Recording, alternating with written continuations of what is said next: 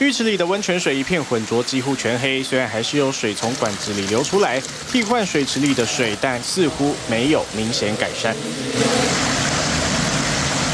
这里是位在阳明山的北投前山公园公共浴池，有民众本来想泡汤，到了现场才知道暂停开放。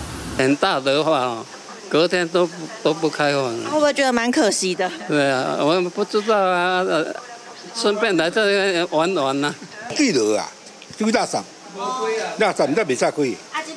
啊，你啊啊，啊，就迄困阿，妈在度啊。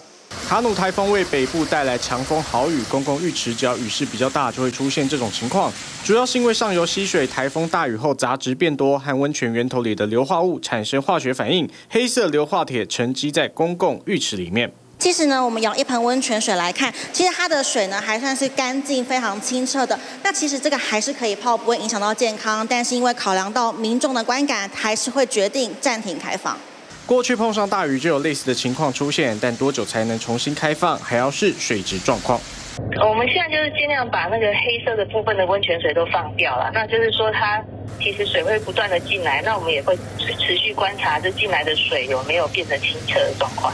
只要上游的水恢复清澈，就会开放。过去经验大概一个星期内就会恢复，但民众如果打算到这里泡温泉，可以先打电话到花卉中心确认。不过受影响的不止这里。吊车进到公园清理倒塌的凉亭残骸，卡努台风造成北市强风不断。文山区万有二号公园凉亭直接被吹塌，民众一大早来到公园运动散步，发现平常休息的地方被夷为平地，赶紧通报。当地里长说，木造凉亭根部疑似早已腐朽，这回直接被吹倒，幸好事发在半夜，没有酿成伤亡。虽然台风没有登陆，还是在各地酿成灾情。TVBS 新闻综合报道。